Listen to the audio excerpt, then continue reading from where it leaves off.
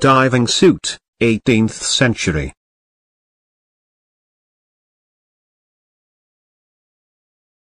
The funeral of Ekaterine Kato Svanidze. She was the first wife of Joseph Stalin who stands on the right at the picture. Tbilisi, Georgia, November, 1907. Workers and three links for the Titanic anchor chain, 1910. Ultraviolet therapy. London, 1931.